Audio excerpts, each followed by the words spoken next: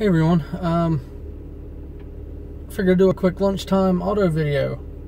Uh, so, so far we've did uh, an episode on faith uh, where I shared my testimony. Uh, we did a brief episode on uh, firearms. It was kind of just out there, uh, nothing real specific in mind. Um, so I thought I'd do a quick lunch video today for you auto guys and girls. Um, I thought we'd talk about diagnosing misfires uh, and maybe some VVT diagnosis. Uh, so generally speaking, on a misfire diagnosis, um, and this is just kind of the way I do things. Um, every manufacturer has their own specific uh, thing they want you to follow. Um, but I think mine's pretty tried and true. Uh, it's the process I always follow despite manufacturer. Um, so anytime you have an engine misfire, uh, whether you're setting a check engine light or if you can just feel the misfire, um, if you got a check engine light, you've got a DTC, probably P0300, which is random misfire, or uh, 301 through however many cylinders you have, 4, 6, 8. Um, if you've got access to a scan tool, uh, it's the best way to do it. Uh, look at your misfire counter. Um, get a good, clear idea of which cylinder is consistently misfiring. Um, there's a different diagnostic procedure depending on whether you have a specific cylinder that is misfiring or if you have random misfires across all cylinders. Um, if you have random misfires across all cylinders, it's more than likely a. Uh, if it's a. Well, we, we can go into that later. So let's say that we have a misfire for a specific uh, cylinder. Um, for the sake of simplicity, uh, we'll use an example of a four cylinder.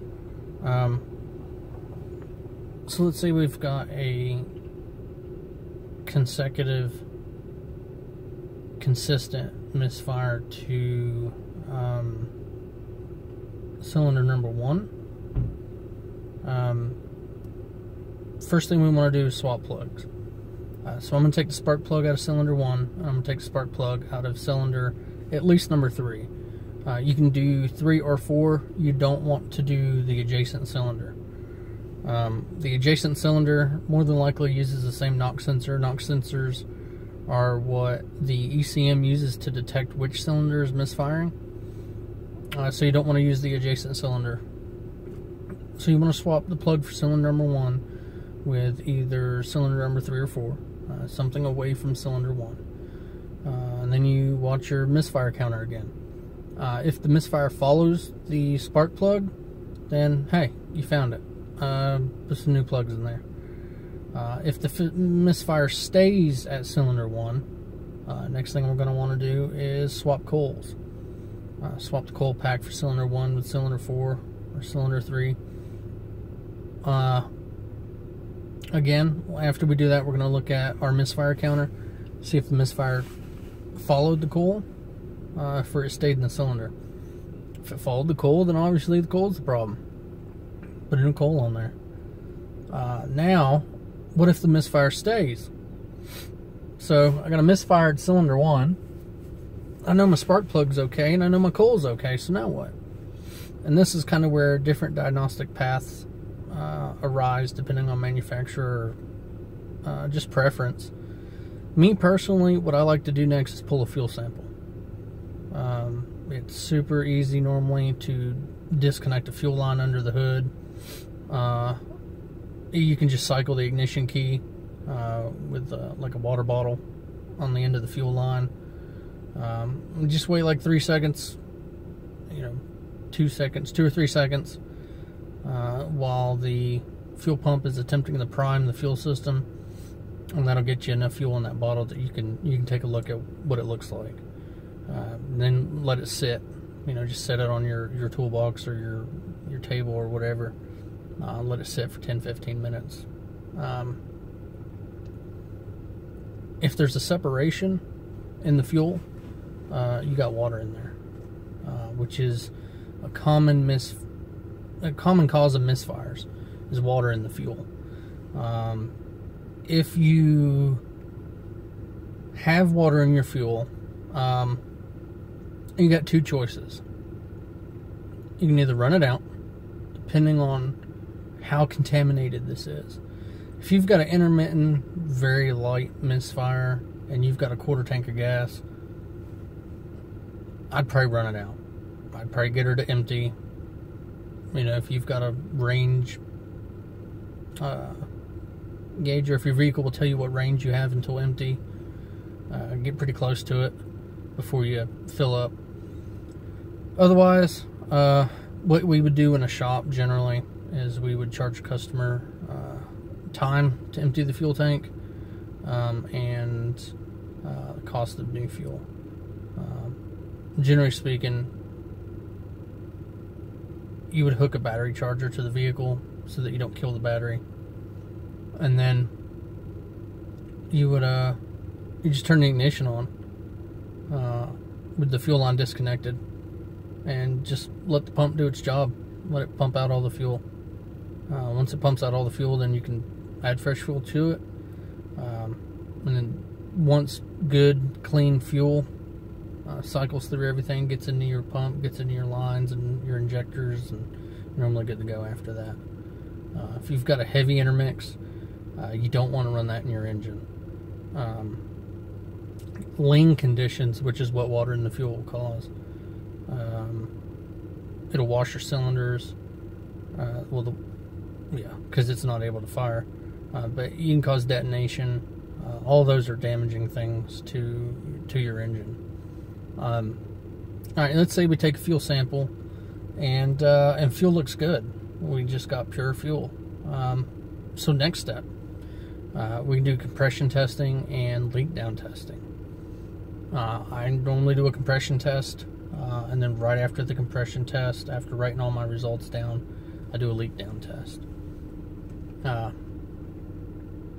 now, if you're losing compression on certain cylinders, uh, you definitely want to note those. Uh, but you don't want to stop there. You want to go ahead and do your leak down. So, let's say you know compression cylinders may vary a little bit, but we're within spec. And so now we're going to do our leak down. Um, if the leak down for cylinder one is below spec, we've got a good idea that something's going on mechanically in that cylinder creating the misfire. So we've got a couple things. Uh, if you do a compression test or leak down test and you notice bubbling in the coolant reservoir, uh, you've got a you've got a blown head gasket.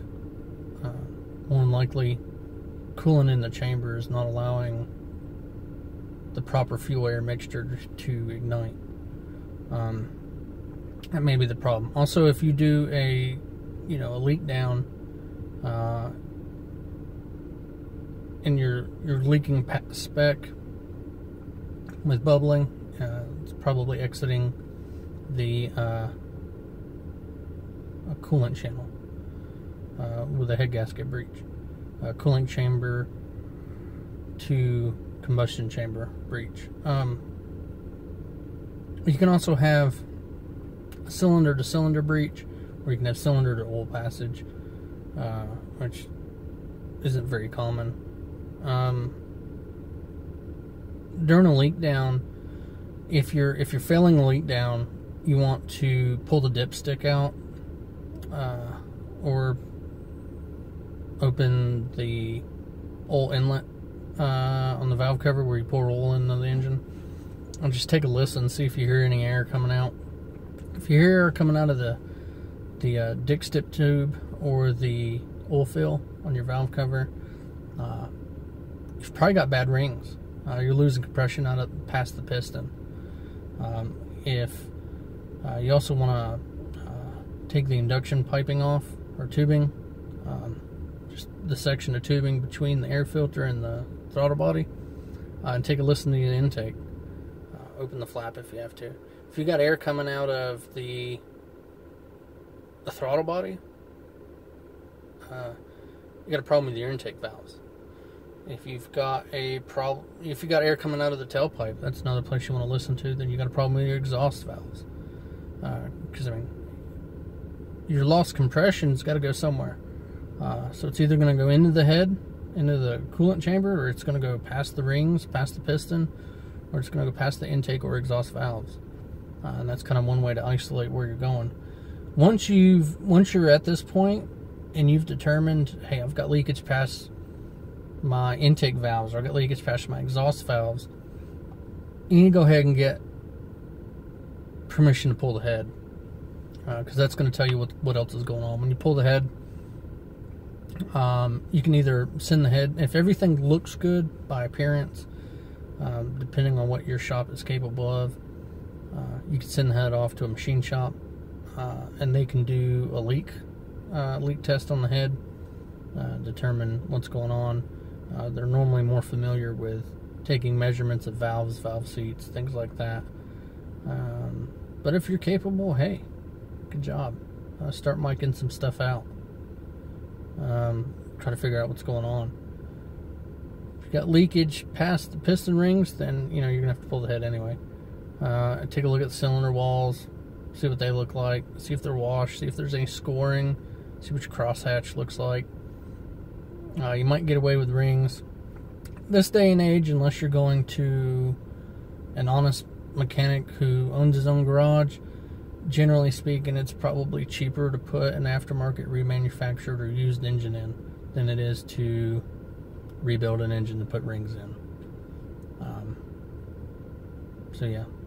So there's our uh, our quick little misfire discussion. Um, if you have any comments, any feedback, anything like that, yeah, uh, comment. Let me know. Uh, I think I'll save the VVT stuff to next video. Uh, we'll talk about firing order, uh, talking about uh, the combustion cycle, VVT operation and diagnosis. Um, so yeah, I hope you guys enjoyed, and uh, we'll talk to you later.